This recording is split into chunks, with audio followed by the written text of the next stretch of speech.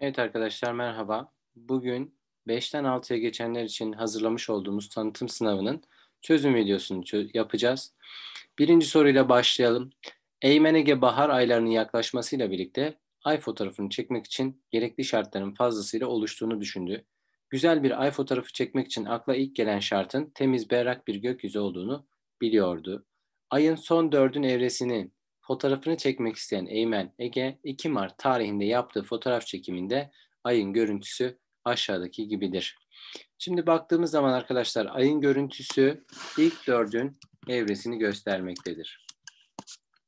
2 Mart tarihinde ilk dördün evresinde oluyorsa e, yaklaşık olarak bir hafta sonra e, Dolunay evresi, iki hafta sonra ise son dördün evresi olacaktır arkadaşlar.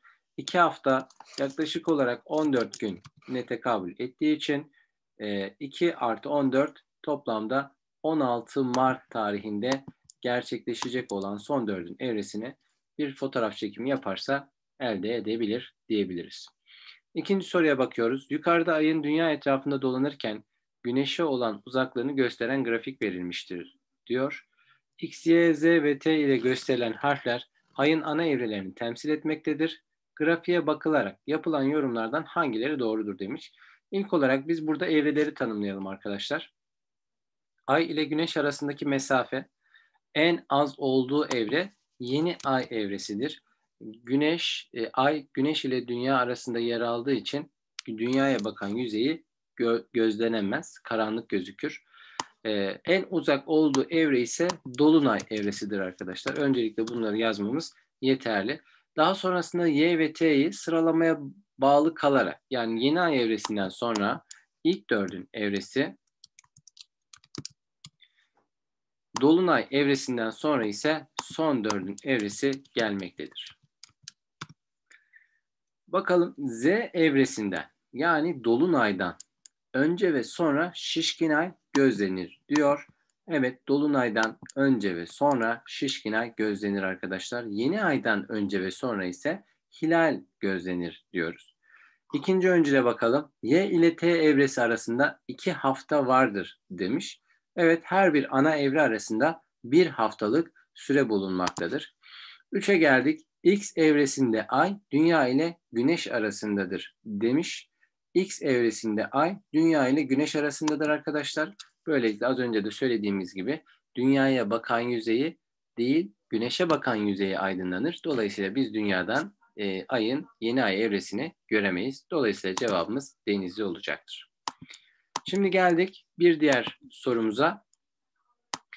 E, Fen bilimleri dersinde proje olarak dünya, güneş ve ayın özellikleriyle ilgili bir oyun hazırlayan Elif aşağıdaki gibi bir liste 18 ee, boncuk, dünya, güneş ve ayın yazılı olduğu 3 kutu hazırlamıştır.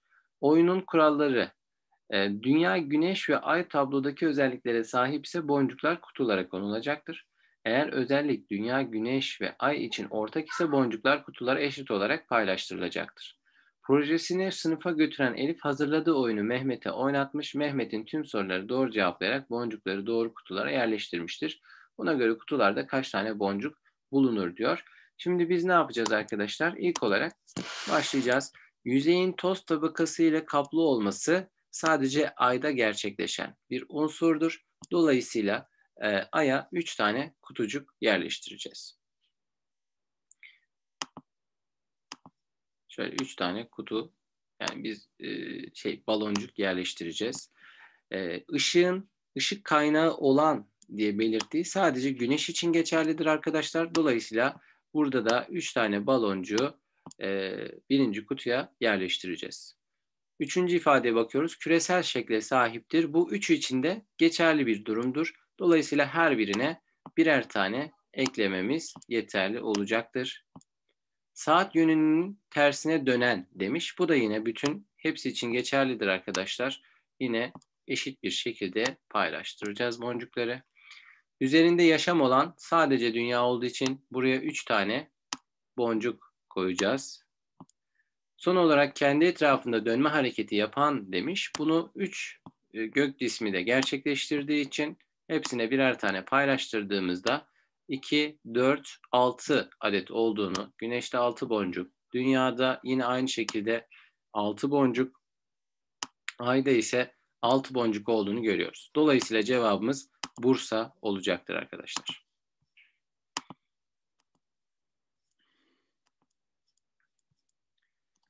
Fen bilimleri dersinde yapılan etkinlikte her doğru cevap için 25 puan verilecektir. Etkinliği yukarıdaki gibi cevaplayan bir öğrenci etkinlikten kaç puan almıştır demiş. İlk olarak e, tablomuza bakalım arkadaşlar. Bilgi ve doğru yanlış ile ilgili e, bir tablo verilmiş. Güneşin enerjisi çekirdekten açığa çıkar demiş. Bu doğru bir bilgidir arkadaşlar. Dolayısıyla zaten e, burada öğrencinin de vermiş olduğu cevap doğru olduğu için yaklaşık şu anda 1.25 puan kazanmış durumda. Güneş sistemindeki tek yıldız güneştir e, demiş. Normalde bu doğru bir cevap olacaktı. Fakat burada yanlış ifadesi kullanmış arkadaşlar. Dolayısıyla buradan e, buradan da bir e, puan alamayacağı için sıfır yazacağız. Güneşin gözümüzle gördüğümüz katmanı renk küredir demiş. Bu ifade yanlış bir ifadedir. Işık küre olacaktır arkadaşlar. Dolayısıyla buradan da puan alamayacak. Son olarak güneşin katı bir çekirdeği vardır demiş arkadaşlar. Güneşin katı bir çekirdeği değil gazdan oluşan bir yapısı olduğu için gazdan oluşmuş bir çekirdeği vardır. Dolayısıyla buradan da öğrencimiz puan alamayacak. Dolayısıyla totalde 25 puan alarak bu etkinliği bitirmiş olacaktır. Beşinci soruya geçiyoruz. İnsan Ay'a ilk kez 1969 yılında ayak bastı. Ay'a ayak basan ilk insan Apollo 11 ekibinin kaptanı Neil Armstrong'tu. Neil Armstrong, Apollo 11 görevinin bir parçası olarak Ay'da 3 saat kadar dolaştı. Bundan sonraki 3,5 sene 10 astronot daha kapsamlı ve uzun görevlerde Ay'da yürüme şansı yakaladı. Apollo, Apollo astronot, astronotların Ay'da bıraktığı izler belki de milyonlarca yıl silinmeyecektir gibi bir metnimiz var, bir resmimiz var ayak izine dair. Yukarıda verilen metine göre astronotların ayakta, e, ayda ayak izlerinin kalmasının nedeni aşağıdakilerden hangisidir ifadesini görüyoruz.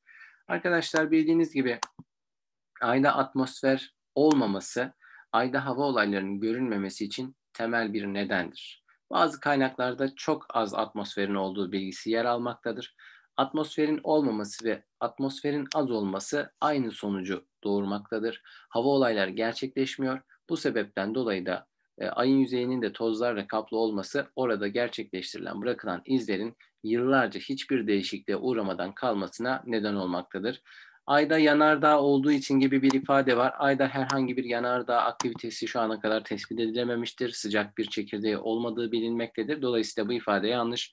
Ayda kraterler bulunduğu için demiş. Bu izlerin sabit kalmasının herhangi bir nedeni değil. Aksine bozulmasına neden olacak bir şeydir. E, gök cisimlerinin çarpmasından dolayı.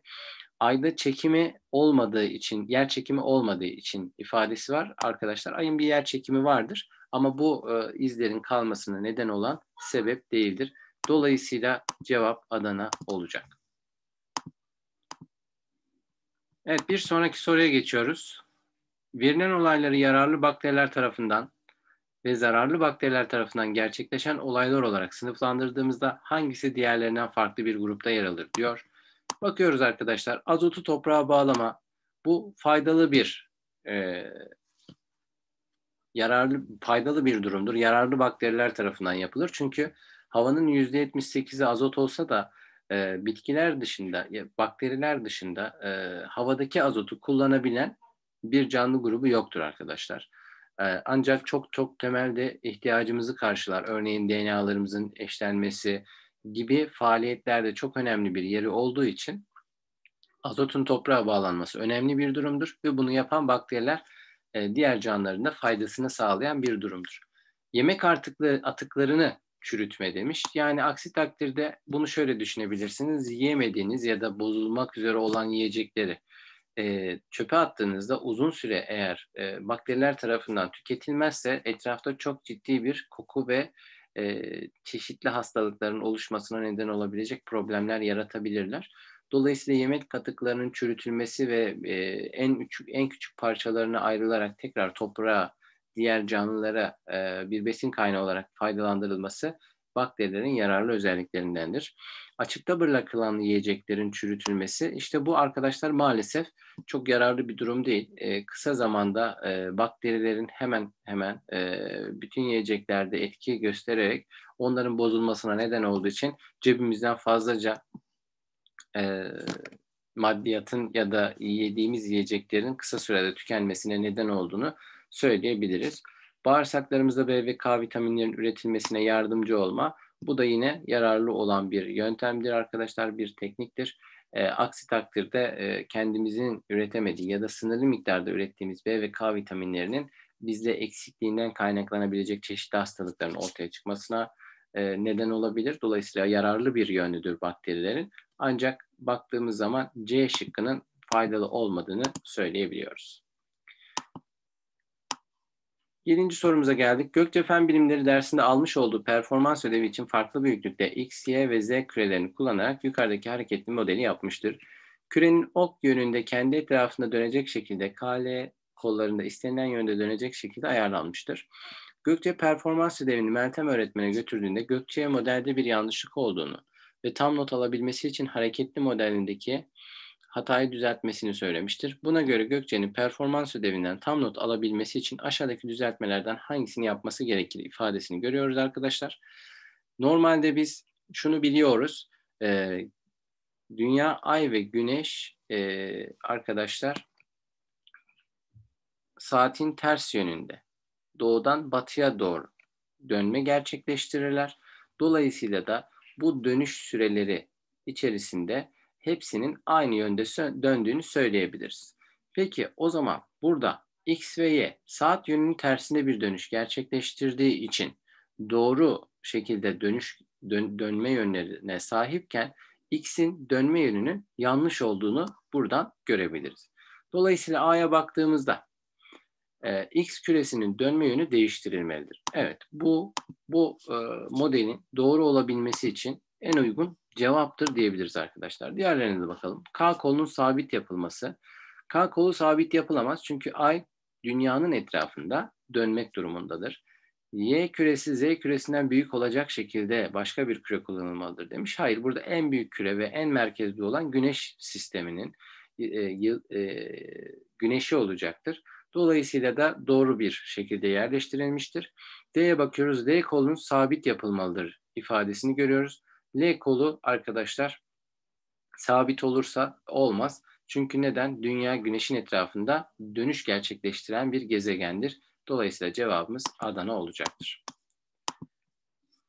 Sekizinci soruya bakıyoruz. Fen bilimleri öğretmeni canlılar dünyası ünitesini işlerken üzerinde farklı canlılara ait yazılar bulunan kartların arasında 8 tanesini seçiyor. Bu kartlardan 7 tanesini öğrencilerin görebileceği şekilde tahtaya yapıştırıyor. Öğretmenin seçtiği kartlardan her canlı sınıfı için eşit sayıda örnek yer aldığına göre kapalı kartta yer alan canlı örneği aşağıdakilerden hangisi e, canlı örneği için aşağıdakilerden hangisi doğrudur demiş. Arkadaşlar bakıyoruz. Birincisi bir bakteri. Bir bakterinin e, aynı grubu içerisinde yani mikroskobik canlılar içerisinde yer alan başka bir canlı türümüz terlikse hayvan. Dolayısıyla bunun e, grup arkadaşı bulunuyor. İkinci resmimiz bir mantar. Şapkalı mantar. Yine başka bir mantar çeşidi olan küf mantarı ile eşleştiğini görebiliyoruz. Ee, üçüncü resmimiz bir karayosunu. Gördüğünüz gibi ayı ve köpek e, hayvanlar aleminde yer alan iki canlı olduğu için birbiriyle eşleşir. Fakat karayosunu tek başına bitkiler aleminde olarak e, e, bitkiler aleminde olan bir canlıdır. Dolayısıyla soru işareti de bitkiler aleminde olan bir canlı olacaktır. Peki buna göre aktif olarak hareket ederler ifadesi olduğunu görüyoruz. Arkadaşlar bitkiler aktif olarak hareket etmezler. Besinlerini dışarıdan hazır olarak alırlar. Hayır, dünyada bitki e, bitki grupları arkadaşlar besinlerini kendileri üretirler değil mi? Dolayısıyla bu ifadede hatalı bir ifade ılık, karanlık ve nemli bölgelerde yaşarlar ifadesini görüyoruz. Bu mantarlar için geçerlidir. Bitkiler için de aksine güneş ışığı gereklidir arkadaşlar. Dolayısıyla bu ifadenin de hatalı olduğunu görüyoruz. Sonuç olarak Denizli'ye geldik. Güneş ışığını kullanarak besin ve oksijen üretir diyor. Evet bu bitkilerin e, yapmış oldukları birçok canlının da faydalandığı bir süreçtir. Dokuzuncu soruya bakıyoruz. Yukarıdaki canlının Canlıların sınıflandırıldığı şemada bir canlı grubu boş bırakılmıştır diyor. Bakıyoruz bitkiler, hayvanlar kim olacak arkadaşlar? Mantarlar olacak. Ve mikroskobik canlılar. Bu canlı grubu ile ilgili verilen bilgilerden hangisi doğru değildir ifadesini görüyoruz. Mantarlar solunum ve boşaltım yapabilirler.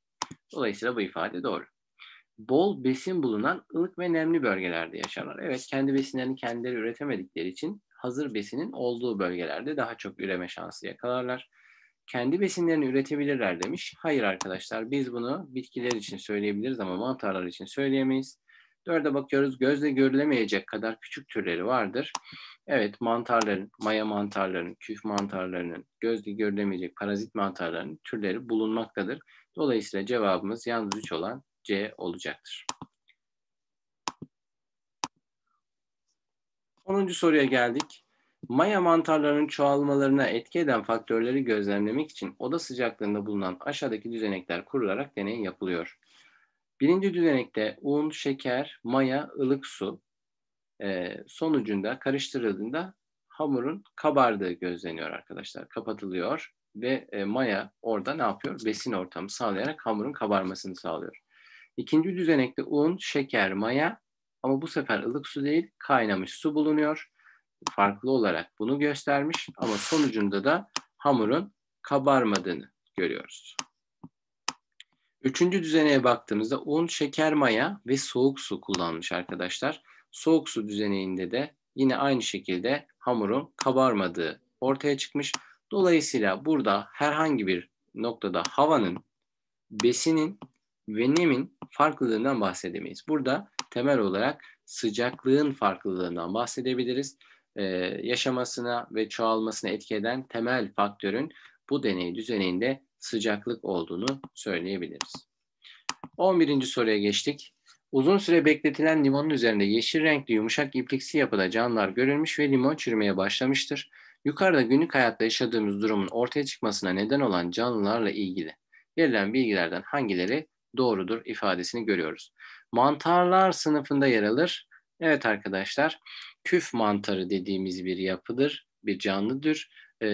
dolayısıyla mantarlar sınıfında yer alır diyebiliriz. Sütün peynire dönüşmesini sağlar ifadesini görüyoruz. Sütün peynire dönüşmesini sağlayan maya mantarları ya da bakterileriydi arkadaşlar. Dolayısıyla bunu yanlış olduğunu söyleyebiliriz. Bu canlıdan penisilin adı verilen e, antibiyotik üretilir. Bu da yine küf mantarlarının üret, e, üretiminde kullandığımız türüdür. Dolayısıyla cevabımız 1 ve 3 olacaktır. 12'ye bakıyoruz. Aynı miktarda ve 20 santigrat derece sıcaklıktaki tavuk suları özdeş kavanozlara konu, koyuluyor. Birinci kavanozun ağzı açık olarak ikinci kavanozun ağzı kapakla kapatılarak aynı ortamda bir süre bekletiliyor. Birinci kavanozdaki tavuk suyunun bozulduğu, ikinci kavanozdaki tavuk suyunun ise bozulmadığı görülüyor. Yapılan bu deneyde aşağıdakilerden hangisi ispatlanabilir?